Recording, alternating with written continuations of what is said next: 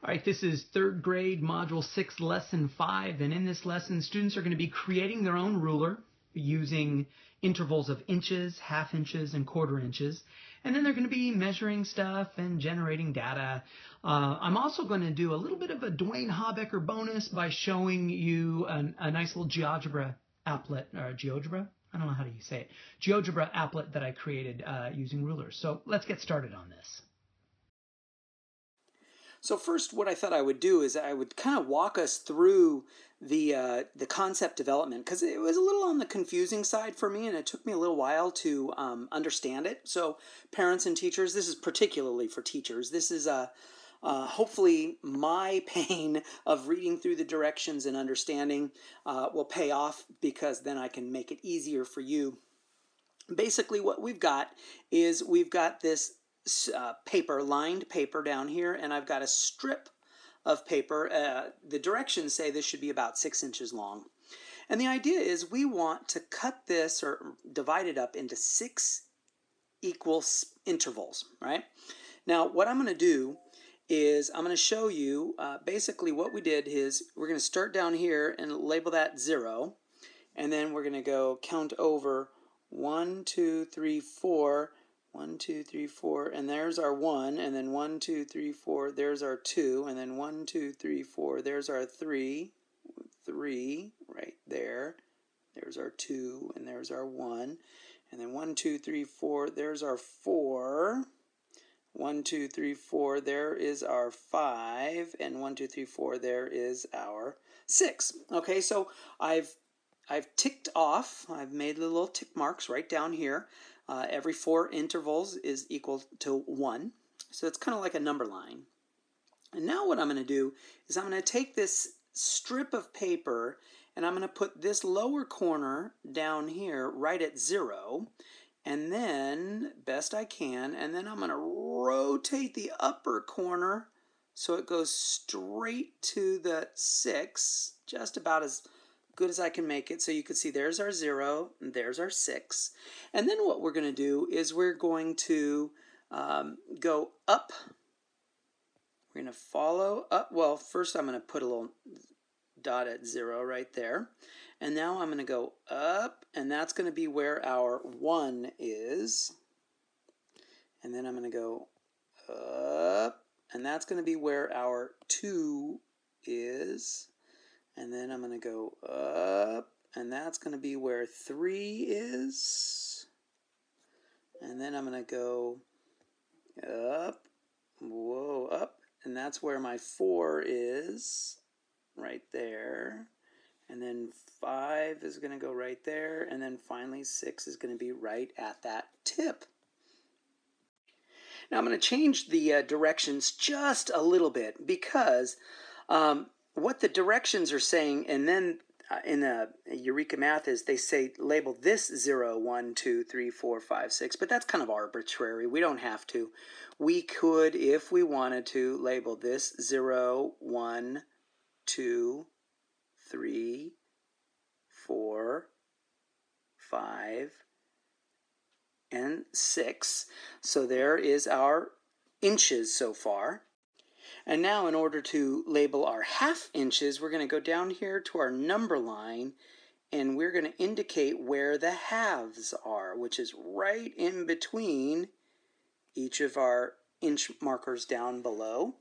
And then that is going to tell us where we are supposed to go for our ruler. So I'm going to slide straight up, and that tells me that's where the half inch goes, the half inch goes, the half inch, the half inch. So I'm just following up the line.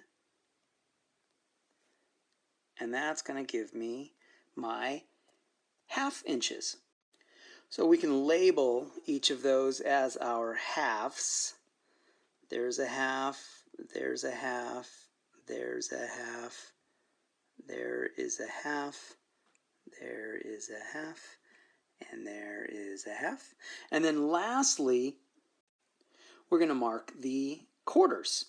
And then again, so we're going to follow straight up each line, and there is our quarter, quarter, quarter, quarter, quarter. And I'm going to just keep going and indicating where our quarters are the best I can. Kind of hard on the little computer screen here. But there we go. And now I have a ruler that is marked down to the nearest quarter inch. Now, if I want to, it might be good, uh, a good idea for me to kind of zoom in a little bit and indicate these a little bit better. So there is our quarter inch, quarter inch. There's our full inch right there. And then there's a quarter, there's a quarter, there's our quarter. And I'm going to just kind of keep going here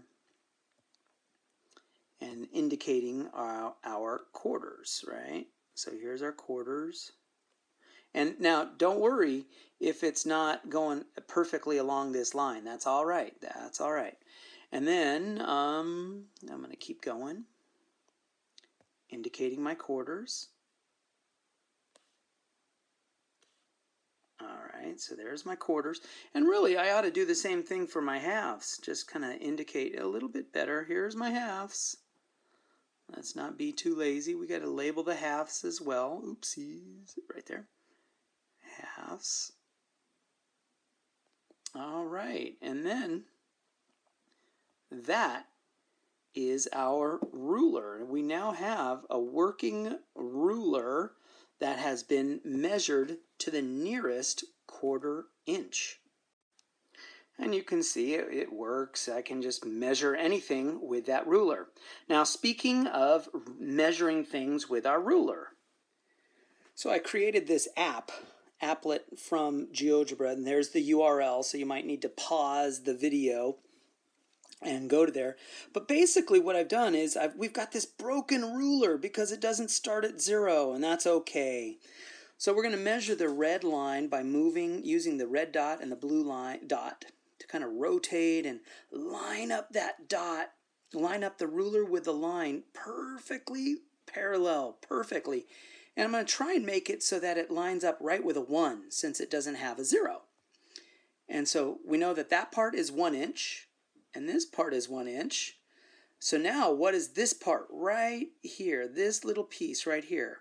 Well, we can see it's two pieces out of 16 in a whole. So that means it's two inches plus, and my lines are no longer kind of lining up, but it's now two inches plus two out of 16 little intervals. Now, another way we could say that is two and one eighth. All right, and and really, if you wanted to, you can again. We could kind of zoom in, and we can look at this little piece right here and we can see that it's two hops right there. One hop, two hops, three hops, four hops, five, six, seven, eight. So if one whole inch is eight hops, and this little red piece right here is one of those hops, so that means it's two and one eighth inches, all right? So that's another way to think about using a ruler, and parents and teachers consider going to this URL. It's a GeoGebra applet that I created uh, just to play and practice using um, rulers. In fact, you can then click on the little checkbox to see if you got the right measurement.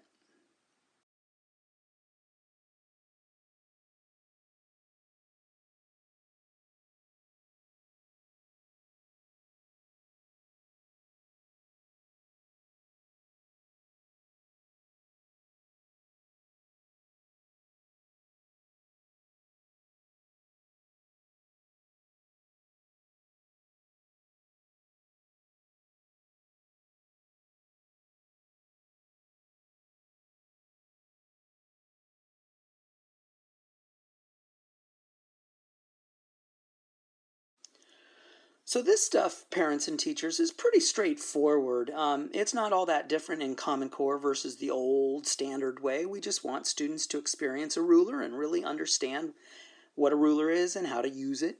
So Evelyn marks 4-inch paper strip in equal parts, label, And so we know that that's 0, that's 1, that's 2, that's 3, that's 4. And then their half inches would be labeled as a half, and then here's a half, and then here's a half, and here is a half. Now, really, if we wanted to, this we would call it one and a half because it's one inch plus a half. Similarly, this right here would be two and a half inches and three and a half inches. And then it says estimate where the quarters would go. Well, the quarters are going to go halfway between each of those half intervals. We're going to cut each of the half intervals into two parts. And that's where our quarters would go. So if we wanted to, we could say um, uh, one inch down here, right here. One inch is equal to how many quarter inches? Well, here's one inch, and you can see that one inch is equal to one, two, three, four quarter inch intervals. And so the, it's equal to four quarter inches. Down the road, parents and teachers, students are going to be seeing that one inch is equal to four quarters, right? Starting to look like the fractions that students are going to be learning big time in fourth and fifth grade. This is really cool. This problem is really cool because it really leads into the fraction work that students are going to be doing in fourth and fifth grade. So Travis says his yellow pencil measures five and a half inches. Ralph says that that is the same as 11 half inches. Explain that they are both correct. Well, so five and a half. What does five and a half look like? Well, we're going to start here at zero, and we're going to say, well, that's, I'm just arbitrarily calling that one. So I just randomly decided that length is one. So now I'm going to copy it. That length is now two, three, four, I got to extend. There's our five.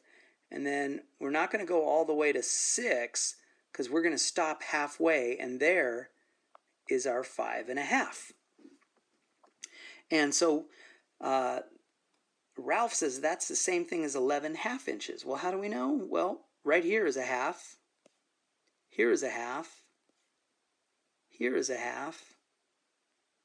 Oops there is a half, and there is a half. So how do we know that it's 11 half inches? Well, we start here, and we're going to go hops. One hop, two, three, four, five, six, seven, eight, nine, ten, eleven. So that's the same thing as 11 half inches. So 5 and 1 half inches is the same thing as 11 half inches. And that wraps up third grade Module 6, Lesson 5. We created a ruler, we measured a bunch of stuff in uh, inch, half inch, and quarter inch intervals.